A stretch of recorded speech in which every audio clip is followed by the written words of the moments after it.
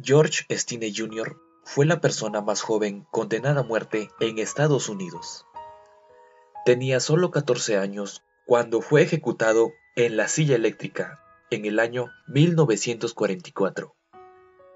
Durante su juicio, hasta el día de la ejecución, siempre llevó una Biblia en sus manos, alegando su inocencia.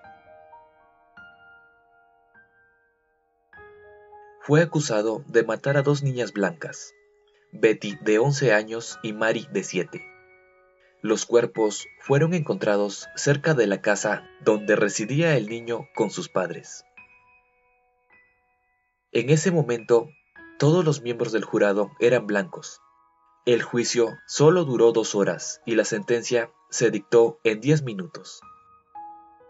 Los padres del niño no pudieron ingresar a la sala y posteriormente fueron expulsados de la ciudad. Antes de la ejecución, George pasó 81 días en prisión, sin poder recibir a sus padres y ningún otro tipo de visita. Se le ejecutó solo, sin la presencia de sus padres ni de un abogado. Fue electrocutado con 5.380 voltios en la cabeza. 70 años después, un juez de Carolina del Sur finalmente demostró su inocencia. El objeto con el que murieron las dos niñas pesaba más de 19 kilogramos, por lo tanto, era imposible que George pudiera levantarlo, y mucho menos golpear con la fuerza suficiente para matar a las dos chicas.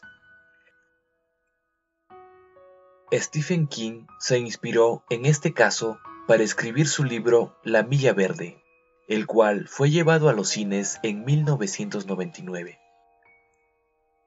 Que el alma inocente de este niño descanse en paz. Si el video te gustó, por favor deja tu pulgar arriba. Ayúdame a hacer crecer esta comunidad suscribiéndote a mi canal. Añádeme a tus redes sociales. Abajo en la descripción estaré dejando los enlaces directos.